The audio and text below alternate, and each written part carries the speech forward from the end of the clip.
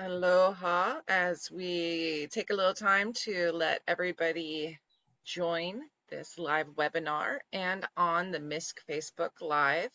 Just want to welcome everybody to another Hawaii Invasive Species Awareness Month um, talk as we explore invasive species of wao kanaka, that area that we all live, work, and play in here in Hawaii.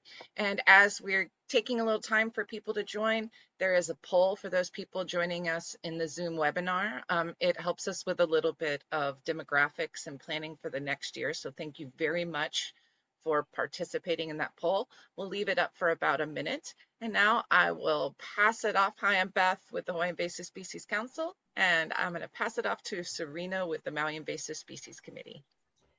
All right, aloha mai kakou, aloha poalima, happy Aloha Friday, everybody. We made it, it's Friday. Um, I'm Serena Fukushima. I'm the Public Relation and Education Specialist with the Maui Invasive Species Committee. Um, and I'm here to help introduce Adam Knox, who's our Operations Manager. Uh, before we get going though, just some housekeeping. We are in a, um, a Zoom webinar, which means we won't be able to hear you or see your faces. So please engage though. Please um, put your questions or comments in the chat or the Q&A box.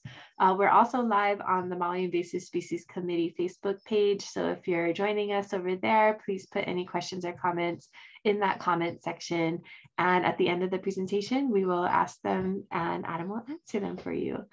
So without further ado, I'd like to introduce Adam Knox. He's the operations manager at the Maui Invasive Species Committee. He was formerly the brown tree snake rapid response team coordinator at USGS on Guam and has been working on invasive species projects since 2008 when he got his start on MISC's plant control team. Adam enjoys surfing, sailing, and playing with his three-year-old daughter, who's the cutest thing um, in his free time. Um, so without further ado, I'd like to hand it over to Adam to talk about new detections and rapid response that MISC has addressed in 2021. Take it away, Adam. Thanks, Serena. Hopefully everybody can hear me all right. Um, yeah. yeah. so that was a great introduction. I appreciate it. Um, yeah, I am the operations manager at MISC, and uh, I've been um, working on invasive species since 2008. Um, I've been involved in rapid response uh, in the Hawaiian Islands, Guam, Palau, Saipan, Rota. Um, done training throughout the region, um, Micronesia in particular um, for snakes, snake response, but um, there's a lot of overlap with um, all sorts of different invasive species that uh, we're concerned about coming in that we need to respond to. Um, so I want to talk about three new invasive species reported and confirmed on Maui um, in particular that we've um, initiated rapid responses to in 2021. And the first is the Psittacula krameri, um, which is the rose ring parakeet, um, pretty green birds, the top right. Um, the second is the Pycnonotus cafer, which is the red-vented bulbul. It's a newer, introdu newer introduction, um, came in around the end of this uh, of 2021. Um, and then the uh, third is a plant. It's a tree aster called Vernonanthura polyanthes, and it's commonly known as uh, assa peixe. And that uh, means fish roast in Portuguese. And so I'll talk a little bit about that here in a bit. Um, but before we start, it's important to understand how biological invasions typically play out and how we can influence the direction um, of those based on how quickly we act. Um, and as you may already be able to tell um, by looking at this curve, being on the left side of that is the best. Um, the further the right we go, the more time and space uh, an invasive species has to take hold, which ultimately translates into increasing costs of control. And the worst case is that a species can become so widespread that eradication is no longer economically feasible or even physically possible, which in turn might require uh, like a long-term management um, effort to take place in perpetuity um, to protect resources related to the environment, um, the economy, or um, even public health. So here's a non-exhaustive list of uh, some considerations that go into rapid response. Um, and the first two fit nicely with uh, Mr. Jeff Goldblum getting chased by a tyrannosaur and that you need to act fast to have a shot at containing the species um, before it spreads any further um, or in this case, before you get eaten. Um, it's also important that you get the information while it's still fresh and unevolved. Um, none of the you know uncle's big fish stories, um, as the stories evolve over time, right? Um, and the second point, it's really important that we uh, so we don't launch the proverbial thousand ships on a wild goose chase over nothing. Um, and you know, an example of this is uh, of trying to vet reports that come in is with snakes. You'd be surprised what gets mistaken for a live snake sometimes um, things like ropes, toy snakes, and uh, I think we've even had burnt PVC pipes be mistaken for live snakes and reported as such. Um, so for snakes in particular, um, we do go through a, a, pretty exhaustive interview process. Um, we do this with the other species as well, but um, to try, we want to try to narrow down what was seen and then rule out any other possibilities. Um, but of course, having photos, photos are worth a thousand words and are often the best and most helpful points of evidence during rapid response and early detection. Um, and then obviously determining scope and scale um, helps us figure out where we're at on that curve, uh, that invasion curve when we get started with the response effort.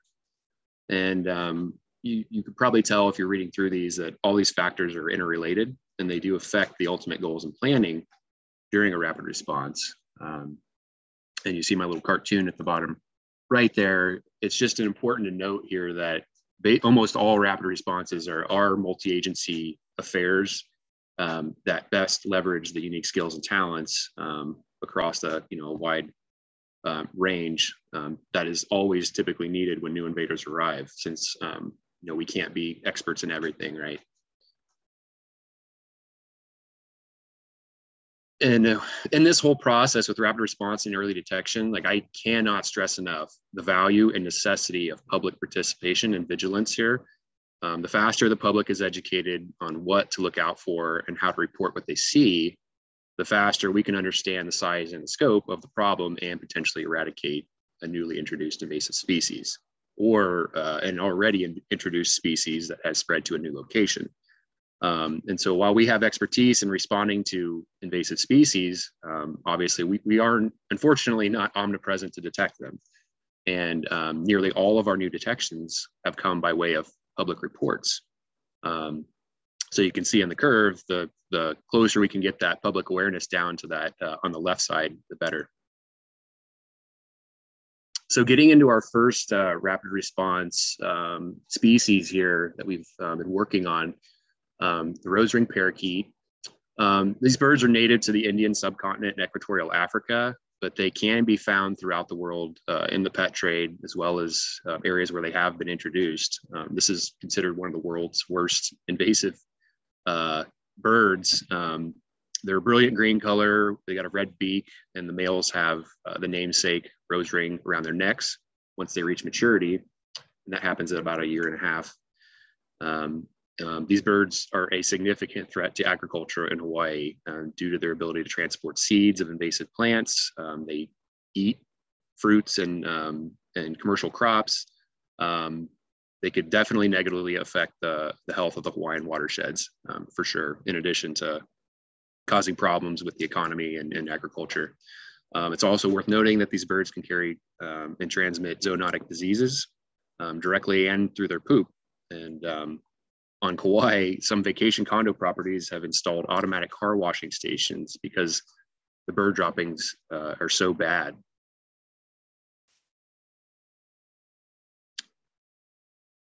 So you can see here how these birds kind of came into Hawaii. Um, so they have actually a fairly long history here. Um, on Oahu, they were introduced in the 1930s. Um, currently, they're present in fairly large numbers, mostly in town in the um, the metropolitan areas of Honolulu. And it's estimated there's close to 5,000 birds probably there at this point. Um, Maui, we did not think that there was any of these birds here until this last year, and now we know them to be present. Um, and luckily, they're in somewhat limited numbers based on our surveys at this point. And so we believe there's probably in the range of 18, 8 to 15 birds. Um, we don't know for sure though. Um, Kauai has the the mother lode where they had two birds introduced in 1965, and I believe these were in like a bed and breakfast type area. They were pets kept in a cage, and they were released, and now there's uh, potentially up to 20,000 birds on that island. Um, so as you can see in that top right photo, it's quite devastating to agriculture there. Um, their farmers are starting to go to great lengths, both large scale and small, to protect their fruit crops and um, and uh, keep it under control. Um, we don't really know how the birds got to Maui. Um, they may be wild descendants of released pets, like the birds on Kauai, or maybe they managed to fly here from one of the other Hawaiian islands. We're not sure. And um, but Dr. Jane Anderson, who's at the Texas A&M University in Kingsville, she's helping us try to solve this riddle by comparing the genetics of the birds that we've captured here on Maui with the birds uh, that are found on the other islands.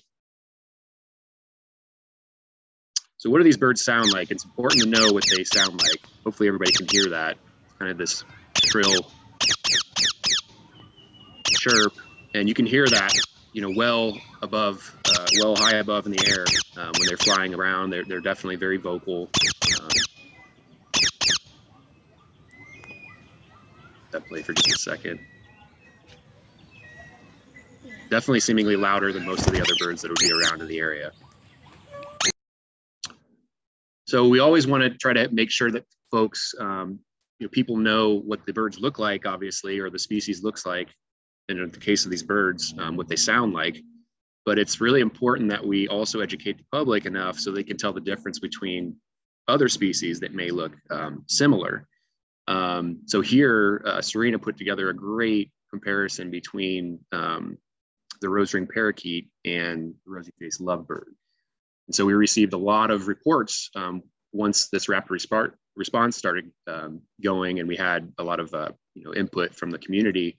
We saw, we, received a lot of reports about uh, uh, lovebirds that you know they people thought they were rose-ringed parakeets, and so you know things like this are really helpful um, for people to be able to look at and understand the differences.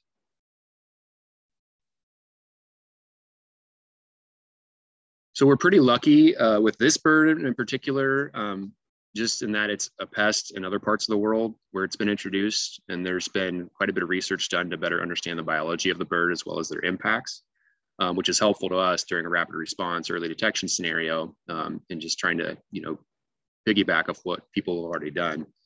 Um, we've got our partners on Kauai, their experience to draw from, um, who they've already tried different methods, um, or done different research projects on this to try to reduce the population numbers there. Things like sterilization techniques, trapping, um, other methods, including lethal control, uh, have all been tested and are um, and or are operational over there. And currently, the most humane and economical way to control these birds in the wild is by wing shooting them with a shotgun or with a high-powered air rifle at night if a roost can be identified. Um, and so like here on Maui, we don't know where the roosts are. On Kauai, they there's so many that they know where the roosts are, and so that's one of our big challenges is trying to understand where these birds are at. Um, so where have we found these birds? Where are these birds? Um, well, this all started in Kihei, um, where we captured our first bird in July, early July. And um, we received a, report from 643pest.org um, had great photos. It was very, you know, very clear, um, a great, great report. So we zipped over there and um, I actually took this photo right before we were able to hand capture the bird. Um, this bird, I believe it was a wild bird. Um, it's, you know, hard to tell when these bird, this bird was clearly habituated to condo guests feeding it. So you can see it's munching on a rich, crack, rich cracker in that photo.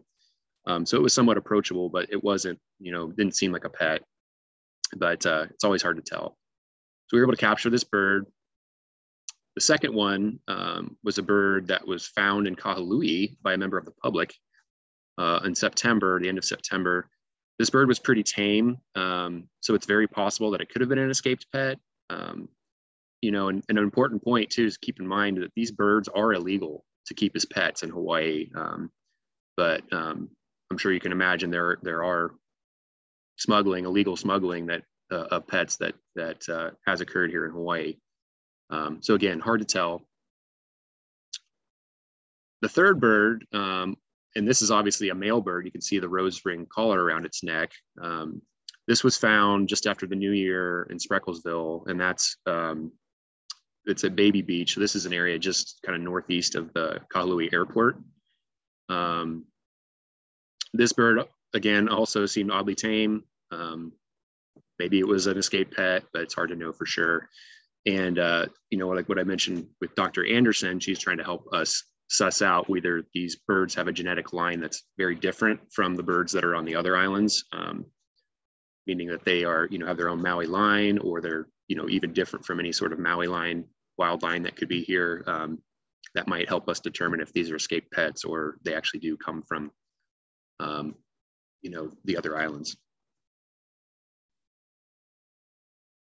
So while we've had some luck in reducing the population size um, with, with, a relatively high percentage because we believe that there's not very many of these birds on island, there still are wild birds that we've detected um, based on reports we've see, received from the public that are out on the west side of the island. And this is in the Kapalua, Napili area of Maui. Um, my last count uh, in the area was eight birds.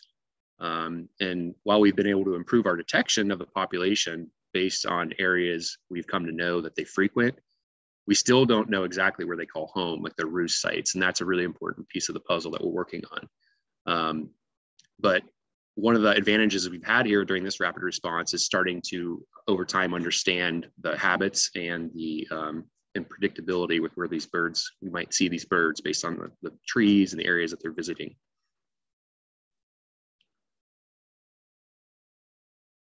And it's really important to mention what I said about the public. Um, the media has been very helpful to us in this regard. We've we've never been able, we would have never been able to expand our understanding of where these birds are at on Maui without the help of um, the reporting that went out um, uh, to the public. There was, you know, a subsequent just in, influx of uh, of reporting after these went out, saying, "Oh, I saw those. You know, I saw, I've seen something in my neighborhood. I think it's just like that." Um, so it's very helpful.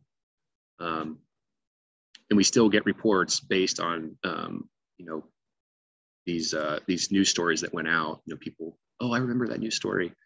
So very helpful coverage. And so here's kind of the timeline of how the rapid response has sort of gone. And I won't go through all of them, but I the the most important thing is to mention, I think, is that we've discovered that pattern, and I have that underlined because um, pattern um, indicates possible predictability, and so that helps for us to establish a routine um, based on any routine we can see with these birds. Um, we have tried trapping with mist nets, and so you can see that picture has the, uh, I put the purple box around it because the mist net is actually pretty hard to see, um, and that's on purpose. Um, we haven't had any luck with that, unfortunately, um, but um, yeah, we we continue to, to do the best we can by again, trying to make use of the predictability of these birds. And a lot of that is has been dictated on public reports. So we can start to triangulate or narrow down where the birds um, are going to be at any given time of the day or um, areas that like to go. And luckily, we've established a really great um, network and um, relationship, um, I guess, relationship network with the landowners that these birds um, are visiting. Um, so we're getting texts and things like that. You know, I saw the bird last night, or I've been seeing the birds lately. So, so we're getting good feedback in that regard. Um, we did try using that first bird I captured as a lure bird, um, which was pretty neat. Um, you know, having it call in. Um, unfortunately, we didn't yield any any other birds at that point. So what do we do next here? Um, well, we're going to continue to do the surveys and control attempts. Um, and um, like I said, identifying roost sites, if possible, was really important. So we want to try to get there if we can, um, figure out where these birds are roosting.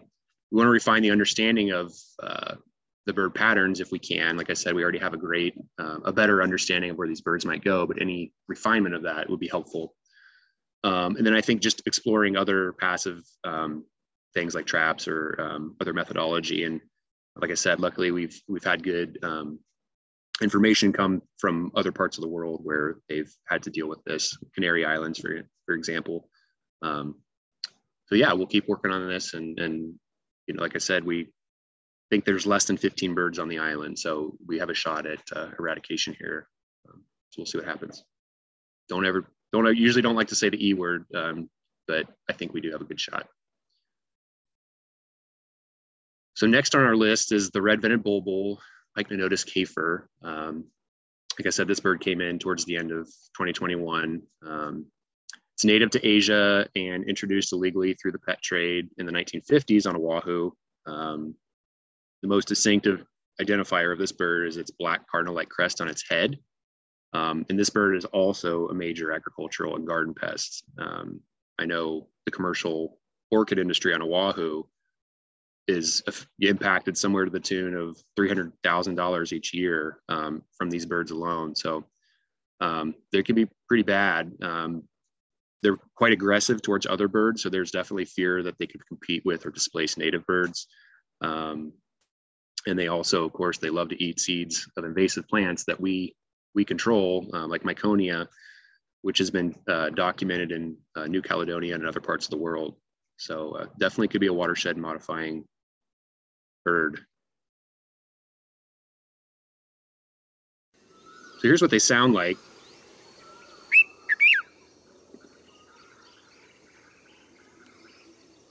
Hopefully everybody can hear that.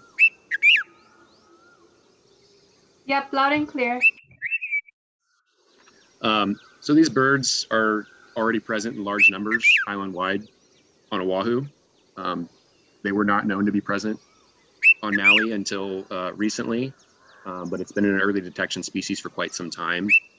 We were lucky in that um, uh, one of the bird experts who's up at Haleakala National Park noticed this bird and confirmed it um, uh, in November of 2021. And so we were able to at least have it on our radar. And just like with the rose ring parakeet, part of our job is to try to educate the public about what these birds look like, um, what other birds may be mistaken for red-vented bulbuls. Um, the most common case of mistaken identity is with the red crested and northern cardinals, um, which also have you know crests on their head. You can see that upper right photo and then the, the one in the middle, the bottom middle.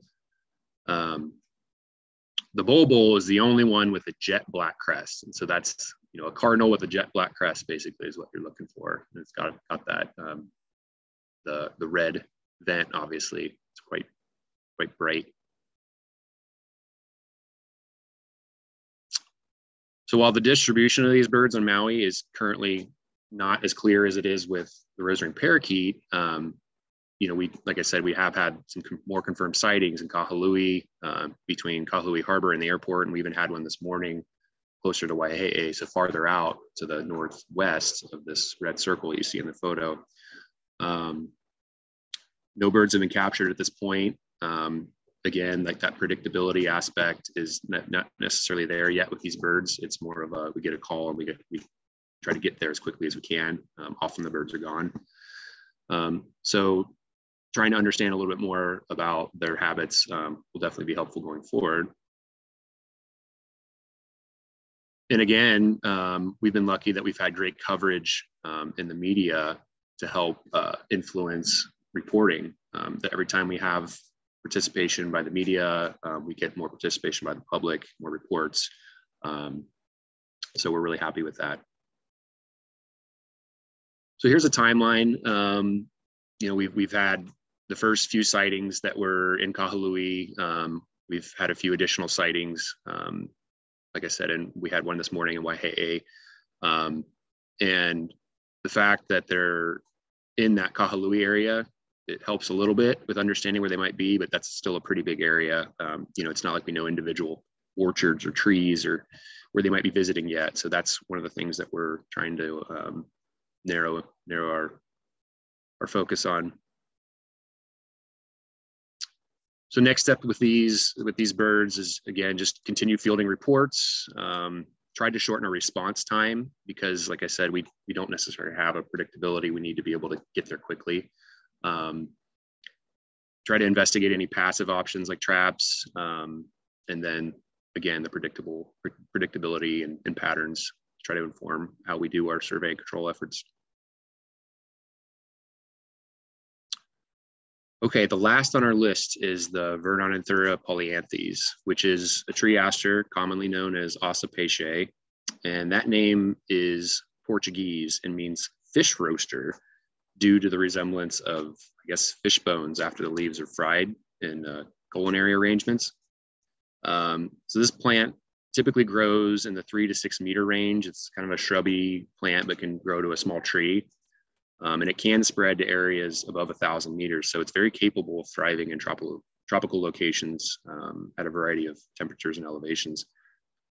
One, the defining feature of this plant is its uh, aster or star-like flowers that are common to the Asteraceae family of plants, which include um, things like sunflowers and dandelions.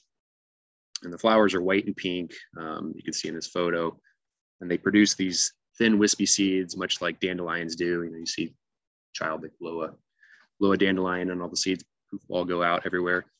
Um, this has been the case in uh, you know or when you have seeds like that they could spread far and wide right? They can blow in the wind um, taken miles away. And this has definitely been the case uh, in other parts of the world mainly africa where this plant was introduced in the 1990s i think um, to mozambique.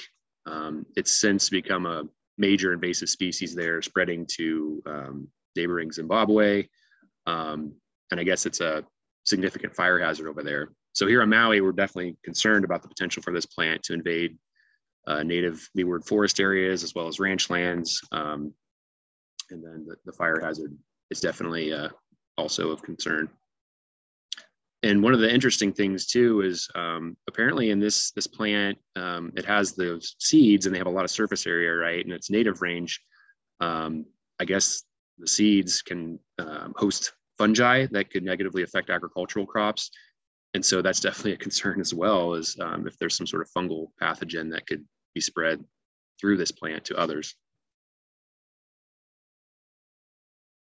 So how did we understand, or how did we first find this plant? Um, luckily, um, retired state forester Dr. Bob Hobdy and uh, was driving his car down Kokomo Road in Haiku in May um, of last year, and he noticed this different tree growing on the side of the road and took this photo. Um, and uh, yeah, he, luckily he saw something that looked out of place. Um, and so from there, our early detection specialist, Forrest and Kim Starr, um, they cast a wide net around that whole area to try to figure out if it's you know just this one tree or you know is this spread far and wide. Uh, unfortunately, um, it was pretty clear that this plant was not limited to you know one roadside area. Um, it was spread pretty far across uh, Haiku. You can see this map here kind of shows. And here's just a different viewpoint of the map, just in relation to Maui with the extents. Um, and so one of the big questions, um, you know, in addition to how widespread it was, was how long had this plant been on Maui? Um, so we had to go back in time Unfortunately, we didn't have the DeLorean time machine, but uh, Forrest and Kim used the next best thing by looking at aerial pictometry records that covered uh, the areas where they had found this plant in their surveys. And uh, they were able to look back to 2008. And as you can see, as we go forward here, these little poof balls in the middle of this fallow field start to really grow out and expand. Um, and so this is just an example of what this plant is doing. Um, here in 2019, and it's still expanding. And as of now, we still don't know the full extent of the spread yet, but it could be affecting as much as a thousand acres at this point.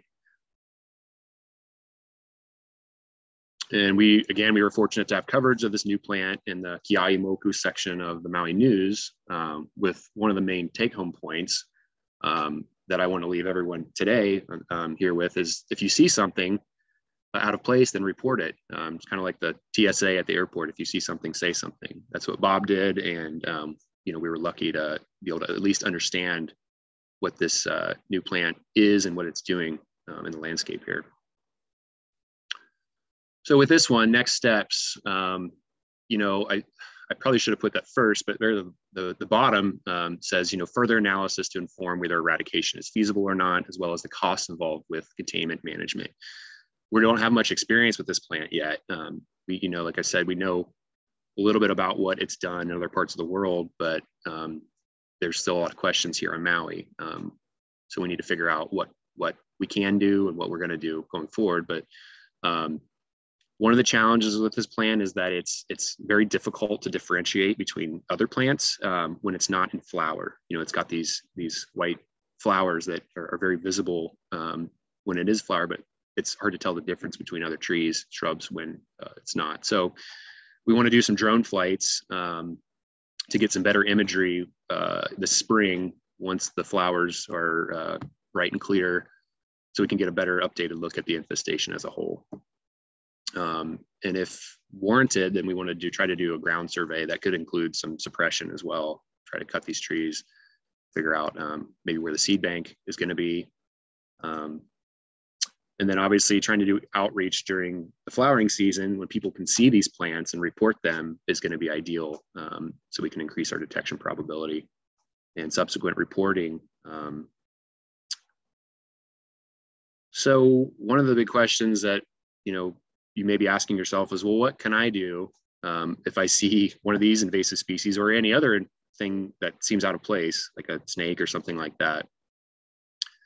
Well, here's my plug for 643 Pest. Um, I I can't stress how great this um, resource is. It's a standardized resource. Um, it it's great in that there's multiple agencies involved, and so um, when a report comes in, it can get you know um, passed out to a bunch of different folks um, across the spectrum, um, you know, who need to know about it. And I would just say that taking photos is like one of the best things that you can do. Take photos of it, then report it. You know, um, um, and this site has a great user-friendly interface with you know, options to upload files and um, the whole nine yards. So I encourage you to visit this site, get familiar with it, maybe uh, add it to your home icon or home screen or whatever on your phone. Um, it's really easy to remember 643pest.org. The invasive species committees are always here to help. This is our job. This is our expertise. This is what we do. Um, we're reachable through our websites, through our social media pages. Um, we've had a lot of interaction with the community through, um, you know, email, website, social media, and um, so we love to hear from folks and, and interact.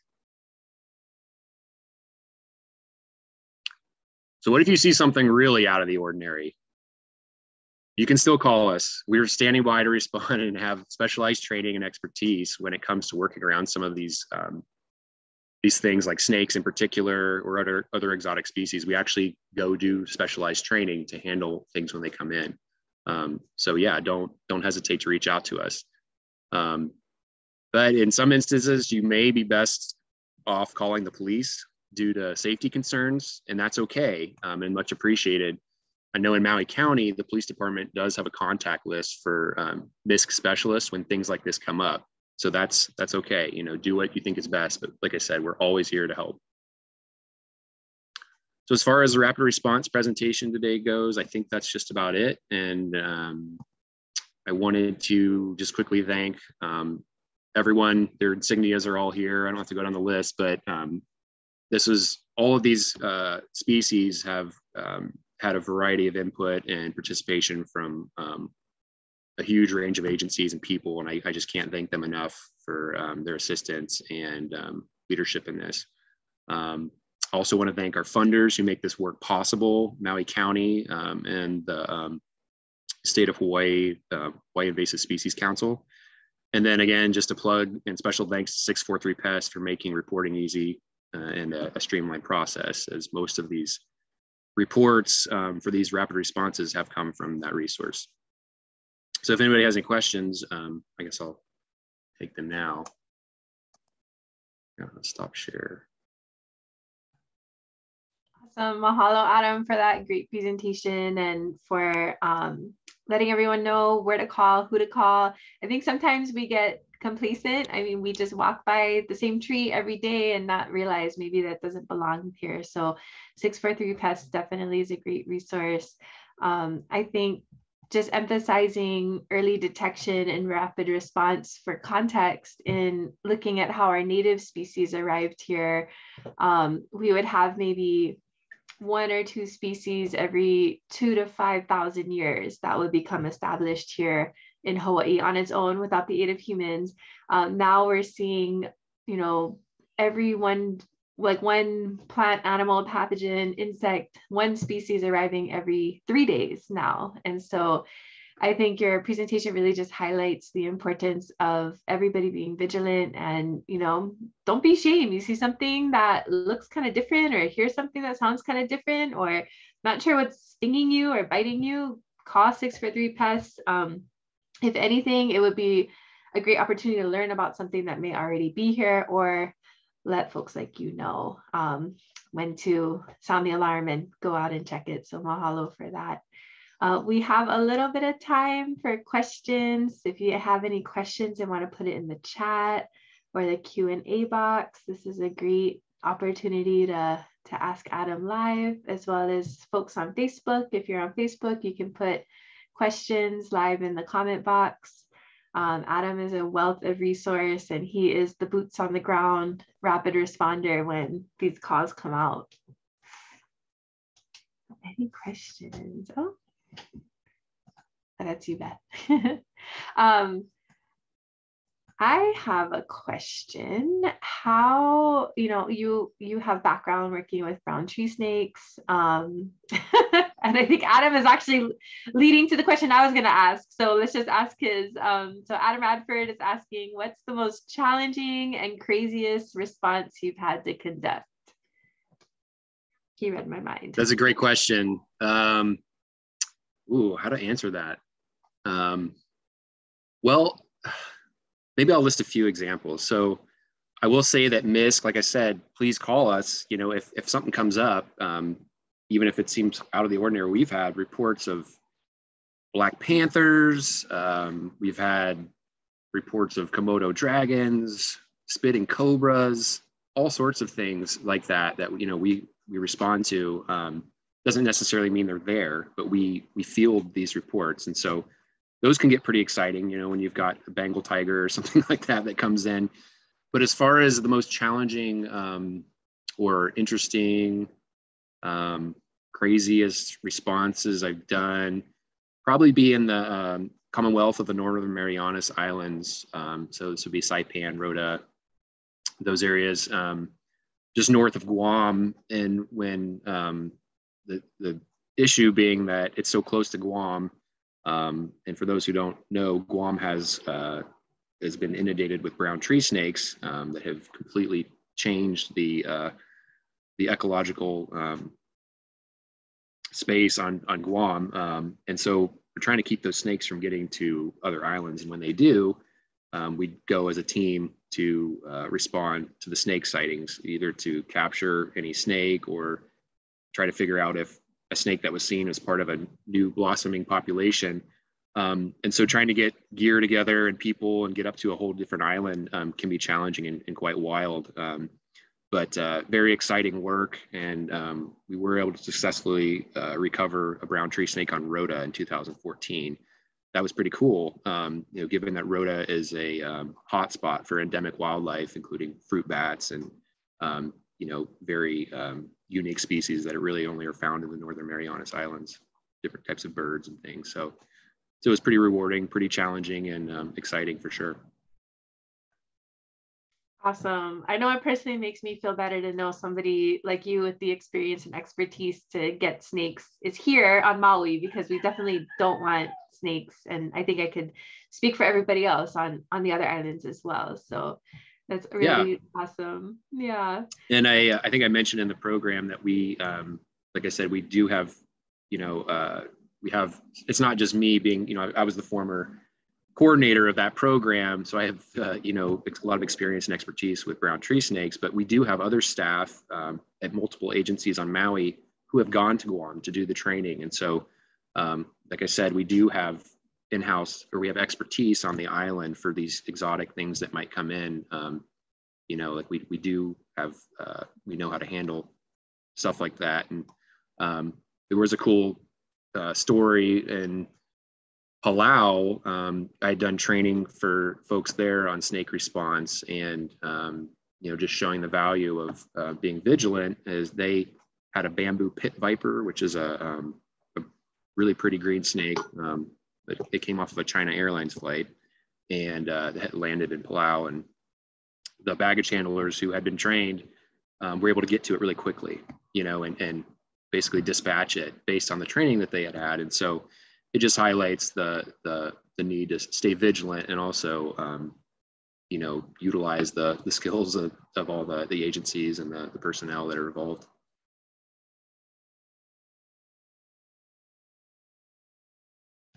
Absolutely. And kind of still on the subject of snakes, I'm just curious, maybe um, since you've been doing this annually, how many snake reports, um, and this can just be a guesstimation, but how many snake reports do you think you receive? And have you actually ever found snakes? Good question. Yeah, we we don't actually receive that many. Um, in the past few years, we um, that one I think I mentioned where there was a, uh, a, the wildfire out in Lahaina had burned through a section where there was a bunch of PVC pipe, and this PVC pipe was melted and draped over a tree, and that was reported as a snake. And when I looked at the photo, I was like, oh wow, that that does look. I could see how it would um, throw somebody off. But um, we had we had that one that came in. Um, we did have an actual snake come to Maui um, that was found in Kahului. It came in on a, a shipment of, um, I think, household goods in a, in a shipping container, and um, it was a corn snake, so just a little snake. It was only about that big. Um, but that was reported by uh, a local family um, who was actually running a restaurant in the area. Um, they had seen the snake, and somebody, I guess, had accidentally backed over it. And so the snake was dead. Um, fortunately, it hadn't gotten across the street to the Kanaha Wildlife uh, Reserve over there, but um, we did have a snake incursion there. Um, so fortunately, it resolved itself. But I did spend uh, quite a few nights combing that area just to make sure it wasn't indicative of a, a population of snakes, because um, that's always the concern. When you see one, there might be there might be many, right? Yeah, absolutely. Thank goodness they ran it over and there was not a population. So thanks for responding to that. Um, Bill Pereira is asking, are snake reports for the entire state available to the public? So maybe um, if he's, I, are you interested in just knowing if snakes have arrived here, Bill, or more so how to report them? But maybe you can answer both.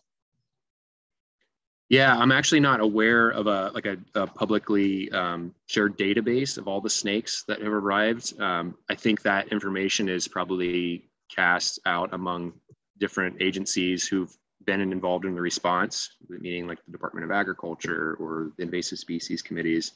Um, so I don't know if there's one clearinghouse to look at all that stuff. I know the military has been involved in a lot of responses too with snakes, and um, so there's a lot you can find online looking at the history, specifically with brown tree snakes, since there's so much um, transport and uh, you know permanent change of station type stuff between Guam and, and Oahu in particular, uh, where they do have you know snakes that arrive in like a box or in a wheel well of a plane, and they have to do a, um, a response to or um, uh, but I will say that the interdiction efforts that go on in Guam and uh, in Hawaii are quite strong. Um, in Guam, they have um, their own whole program uh, USDA where they're doing um, inspections of cargo and aircraft, see, you know, all the Navy ships, whole nine yards. They're going out with night vision goggles in the middle of the night with, you know, um, Jack Russell Terriers that are trained to sniff for snakes, the whole nine yards. And um, the fact that we don't have more snakes, um, specifically brown tree snakes, coming into Hawaii, um, knowing that there's so many on on uh, Guam is, I think, a testament to how great that interdiction program is um, so far. I mean, the, the, odd one gets out here and there, squeaks through, but for the most part, it's um, we're able to wrap it up pretty quick. Yeah, that's really comforting to know. And maybe that could be a potential um, HISAM presentation for next year, getting in touch with some of those folks to hear about what they're doing. Sounds like a, a cool operation. Um, Adam is saying um, there's also a snake proof fence around the airport on, on Guam as well. So that may help keep them out. Yeah, just for context, um, the airports and seaports are kind of, you know, I guess for lack of a better term, under assault by the snakes, where um, the USDA, they have traps. These are traps that uh, have live mice in them um, that are luring the snakes in um, to try to keep them from going through into the airport or the seaport um, to getting, you know, on a ship or on a plane. They're pulling, I think, like 10,000 snakes out of these traps off these fence lines per year. Um, so yeah, it's it's like I said, it's quite effective. Uh, they do a great job over there. Keep us keep our uh, our ecosystems and our way of life here in Hawaii protected, so it doesn't become you know like it is. As we hear a plane fly over you right now, that was good timing. I don't know how you set that up. yeah. Yep. No snakes on planes please. Um, all right, if anyone, oh, Bill, we got a question from Bill. Do you think that a brown tree snake could survive falling out of an airplane wheel well on approach to the runway? And maybe a snake fence on Oahu? Do what do I think a uh, snake could survive falling out of an airplane well? I I mean, I hate to say it's impossible. Anything is possible, right? But um, I think one of the things is those planes fly so high. Um, typically, the survival rate of a snake uh, or the, the, survival of a snake would be dependent on it being able to stay warm enough, not freeze. Um, so I think that's usually the case with like hydraulic lines or electronics or whatever they're in the wheel wells that can kind of get close and survive. I think the chances um, could be real. I mean, it's possible for sure, um, but hopefully it's relatively low.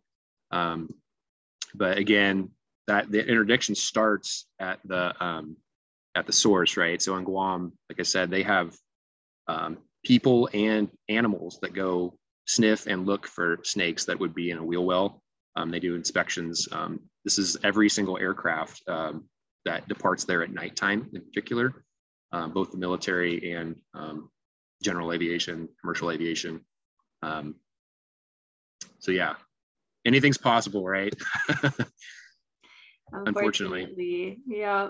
Um, I have one more question for you, then we can start wrapping up. So, you know, given your like the experience doing a lot of early detection and response, your brown tree snake um, experience as well, is there any plant, animal, or pathogen that you haven't talked about today that kind of keeps you up at night that you think about that maybe hasn't arrived here, um, but has a potential to, and that has you particularly worried about and maybe something that um, the public can know too to keep an eye out for?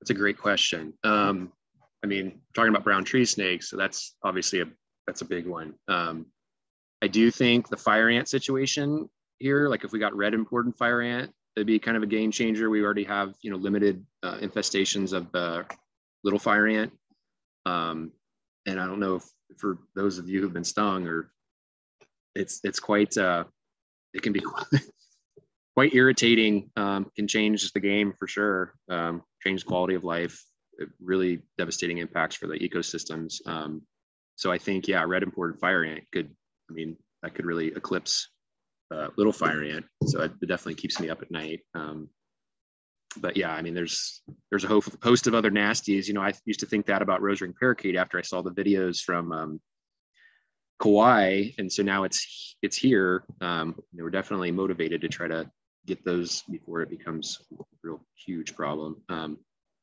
but uh, yeah, it's a good question. I think if I had a number on it, I'd say red and imported fire ant. Great. Yeah. So let's be out on the lookout. Make sure those don't get here. And if you think you see it, contact MISC or 643 Pest. And we actually have um, some information about the red imported fire ant in our presentation earlier this week with Marley. Um, um, and her presentation is called As the Blog Grows. So if you want to go back to the link that Beth dropped into the chat, you can watch that presentation and learn a little more about red imported fire ant. A um, couple more minutes to ask any questions, but let's just start wrapping up a little bit. Um, we've just completed our second week. I think this is our second week, right, Beth, of HISAM uh, presentations. Third week. Okay, see, just time is flying when you're having fun. Um, so this is the conclusion of our wao kanaka being in our realm of human um, interaction um, areas and invasive species. Uh, we're gonna go into um, Kahakai, so Heli'an down to the coastline next week. Uh, we do have one more presentation though tonight at seven o'clock with the Native Hawaiian Plant Society. So it's gonna be a really awesome talk to hear about uh, what they're doing and some some great talks about native plants. Uh, next week, as we go into our Kahakai realm, we're going to have a presentation on Tuesday, the 22nd at 9 a.m. And it's an aquatic invasive species prevention and management on Oahu with Depart, uh, Division of Aquatic Resource Biologist Lizzie Monahan. Um, that same day, we also have a presentation on invasive limu, Chondria tumulosa, Um, that's going to be at 10 o'clock. And then that evening, we'll have Turning Off the Tap, working in partnership to address cat overpopulation in Hawaii with a really great panel talking about invasive um, cats. And that will be at six o'clock. So we're going to jump off of this holiday weekend to some really great presentations on Tuesday. So we hope you can join us. Um, the, the link to go to that um, page that has the schedule of events um, as well as where to sign up to join the webinars and see past webinars from this past month are in the chat from Beth. Um, and this presentation will also be live on our Facebook um, and posted right after this, as well as on the website as well. So uh, with that, mahalo everybody for joining us today. Mahalo Adam for your great presentation, and we hope to see you soon. Aloha. Thanks for having me.